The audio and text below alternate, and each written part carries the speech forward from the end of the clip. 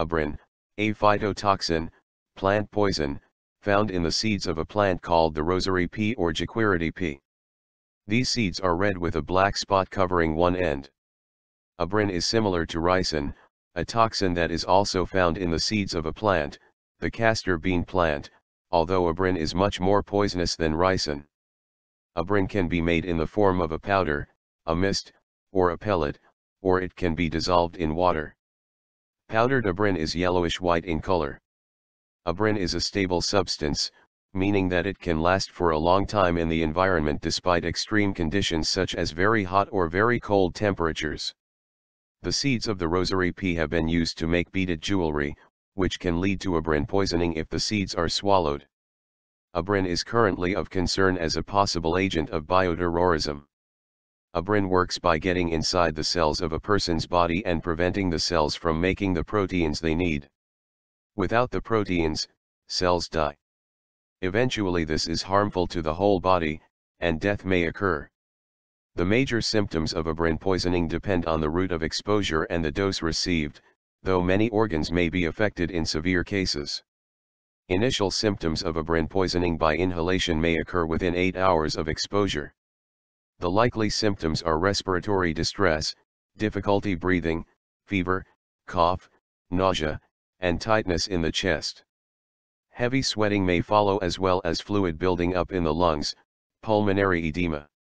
This would make breathing even more difficult, and the skin might turn blue. Excess fluid in the lungs would be diagnosed by X-ray or by listening to the chest with a stethoscope. Finally, low blood pressure and respiratory failure may occur, leading to death. Following ingestion of abrin, initial symptoms may occur in less than 6 hours but usually are delayed for 1 to 3 days. Symptoms would include vomiting and diarrhea that may become bloody. Severe dehydration may be the result, followed by low blood pressure. Other signs or symptoms may include hallucinations, seizures, and blood in the urine. Within several days, the person's liver, spleen, and kidneys might stop working, and the person could die. A Abrin in the powder or mist form can cause redness and pain of the skin and the eyes. Death from a abrin poisoning could take place within 36 to 72 hours of exposure, depending on the route of exposure, inhalation, ingestion, or injection, and the dose received.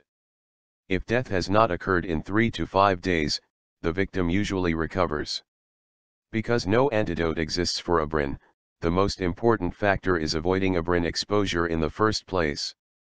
If exposure cannot be avoided, the most important factor is then getting the abrin off or out of the body as quickly as possible.